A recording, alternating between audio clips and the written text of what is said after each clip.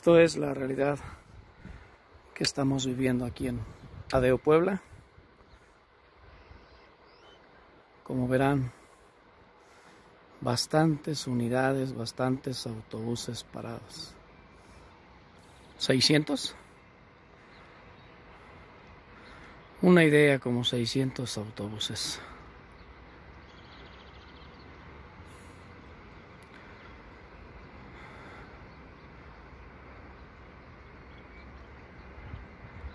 Creo que hay que darle gracias a Dios que tenemos trabajo, que estamos en una empresa sólida como esta. Que bueno, nos ha mandado de vacaciones, ha mandado de descansos, pero nunca ha hablado de un recorte de personal. Pues Dios quiera y esto se componga pronto.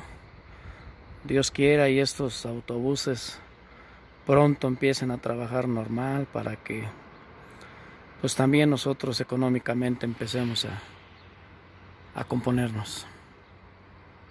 Compañeros, pues echarle ganas, a cuidarnos, a hacer caso de todas las recomendaciones.